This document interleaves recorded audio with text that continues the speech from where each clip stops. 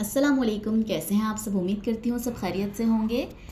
बचे हुए पीसेस से कैसे एक बच्ची का, छोटी सी बच्ची का फ़्रॉक बना सकते हैं? तीन साल, चार साल की बेबी का तो देखें ये डिज़ाइनिंग बहुत ही खूबसूरत, बहुत ब्यूटीफुल फ़्रॉक लग रहा है। थोड़ी सी मेहनत हुई है बट बहुत ही ब्यूटीफुल है।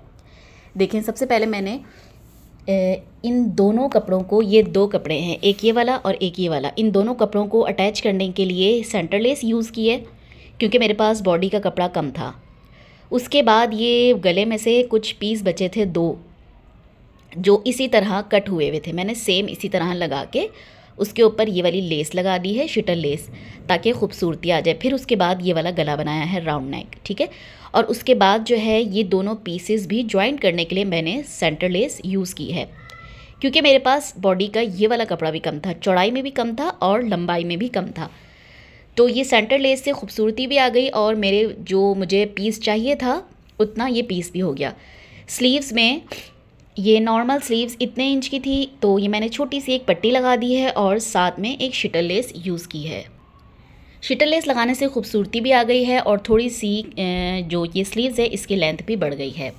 अब नीचे आते हैं, नीचे ये बॉर्डर मैंने तकरीबन पाँच छः इंच का बॉर्डर है। असल में ये बॉर्डर मेरे पास दो पीस थे, ये बॉर्डर की भी ना।